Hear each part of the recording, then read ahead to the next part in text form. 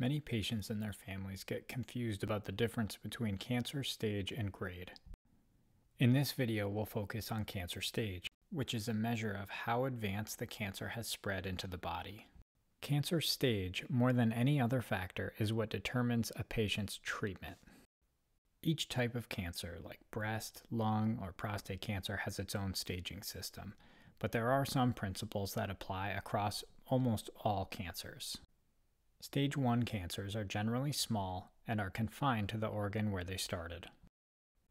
Stage 2 cancers are slightly larger, but they're usually still confined to the organ where they started.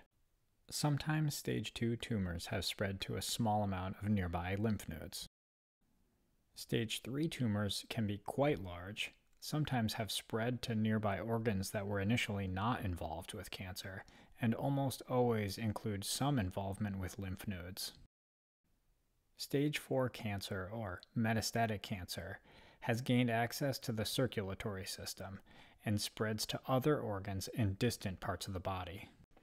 Generally, stage 1 tumors can be cured with surgery alone, whereas stage 4 tumors almost always require IV treatments like chemotherapy or immunotherapy.